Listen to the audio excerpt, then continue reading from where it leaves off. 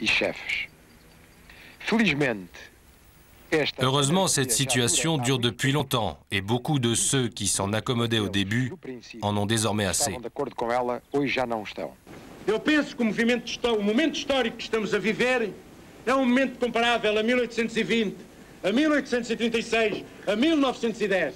Nessas datas, perspectivas se abriram ao futuro dos portugueses e essas perspectivas foram iludidas.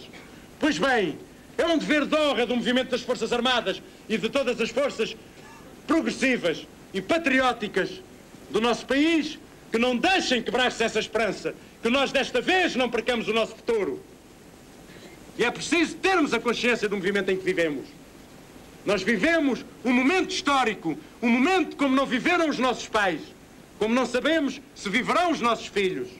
Estes momentos são raros na história portuguesa. É preciso termos a consciência disso e é preciso que, tendo a consciência de que somos os construtores do nosso futuro, saibamos dar os passos com lucidez. Eu repito, estou farto hoje aqui de falar na lucidez, mas a lucidez está ao alcance de todos. E dois homens são mais lúcidos que um só. É conversardes entre vós, é discutirdes, é procurardes, de facto, os caminhos que interessam a vós, que são os caminhos que interessam à nossa pátria.